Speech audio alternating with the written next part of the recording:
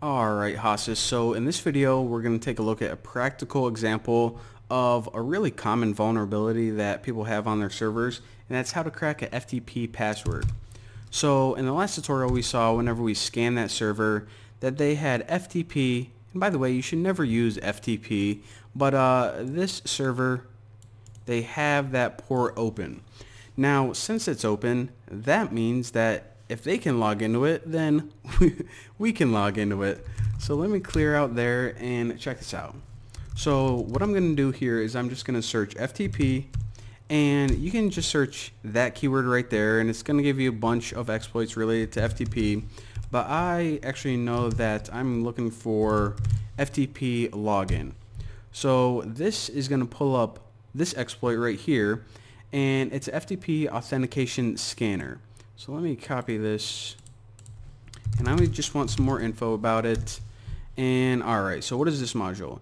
It lets you, this is what I'm reading by the way. This module will test FTP logins on a Ranger machine, but we're only going to be testing one. Not a big deal. And we're basically going to be giving it a bunch of different passwords. And we're just going to run through them all. And whenever it, one works, then it's going to say, dun, dun, dun, there you go, those are the credentials. So let me clear out of there. And all right, that exploit looks pretty cool. So I'm just going to write use FTP login.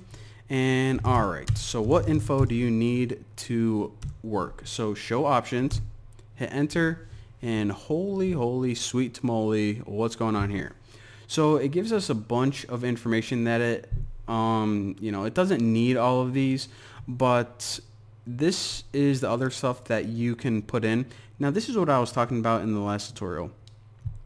You see how it says that a lot of these parameters, they aren't required, but they're optional. So for example, if you were testing one of these things, then you could add it. If not, then you don't need to. I'll show you guys the information information that you actually do need.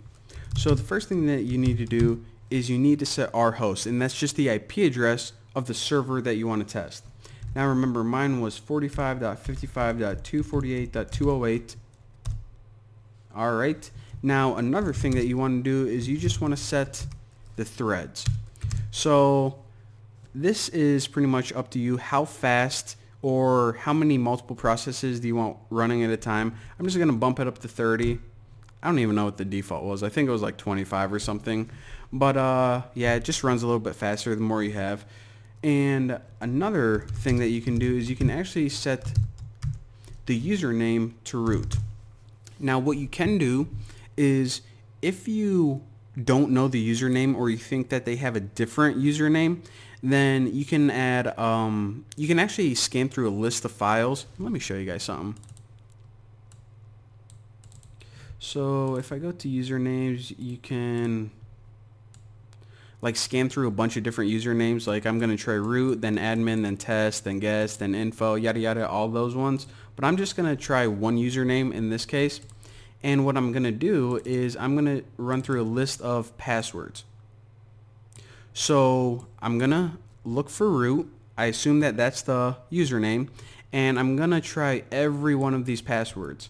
So that password list that I have right here, you can get on my GitHub page, link below or there's a bunch of different password lists that you can find online. But uh, yeah, password lists are definitely a handy thing to have whenever you're penetration testing. But for right now, I'm just going to set the username is root, hit enter. And the next thing I want to do is I want to set that pass underscore file. File boom roasted. All right. So hopefully I can remember the path of that desktop security, uh, list, passwords, top 1000 out text. Look at that. So now let me clear out of here. And now let me show options again. And alright. So by the way, this usually doesn't look as jumbled as it does right now. I just had to, like I said, bump up the text a lot so it displays so you guys can actually read it on uh, YouTube but it's usually a little bit neater if you guys couldn't tell. So now that we have everything set all we need to do is write exploit and hit enter. So what this does is it's going to go through and it's going to start trying to log in. So the password is going to be root for everyone and now it's trying or excuse me, the username is going to be root, and then it's going to try this password, one two three four five six. What about the password password? What about the password this? What about the password QWERTY? Boom, boom, boom. There you go. Now, I don't feel like sitting here and waiting, and I'm sure you guys don't. So if you ever want to stop it, you can hold down Control C. But if you're actually running this attack, then you would, you know, of course, want to let it run. But there you go. And whenever it hits one that's correct, then it's going to pop up as green, I believe, and it's going to say correct, and then the tool is going to stop for you. So what you could do is just let this run before you go to bed and wake up in the morning, and boom, you got you got the password. But let me clear out of there, and that's all there is to that.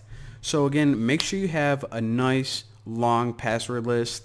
Uh, sometimes it takes a little bit of time, so you may want to do it before you go out to eat or go to, or go to bed, whatever.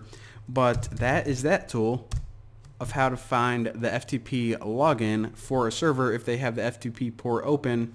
So in the next tutorial, I'll show you guys an example of something else cool that you can do. What it is, I don't know. Don't really plan these things out. But there you go. Thank you guys for watching. I will smell you next time.